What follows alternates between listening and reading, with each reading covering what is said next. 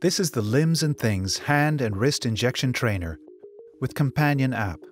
It is an anatomically accurate right hand that provides a realistic training and teaching platform for postgraduate learning in both landmark identification and injections into the five most common sites.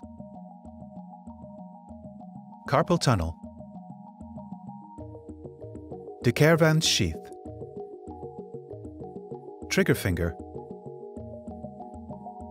first carpometacarpal joint,